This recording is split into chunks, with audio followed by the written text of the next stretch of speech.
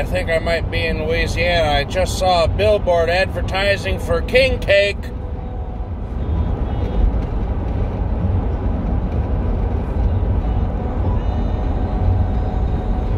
If you don't know about king cake, it's a cake. Got the Mardi Gras colors on it. Plastic baby in the middle of it. Well, not in the middle, somewhere in the cake. And feed this cake to people, and whoever gets the plastic baby, they got to buy the next cake.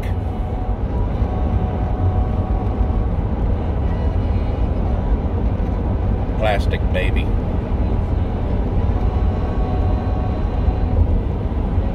What will they come up with next?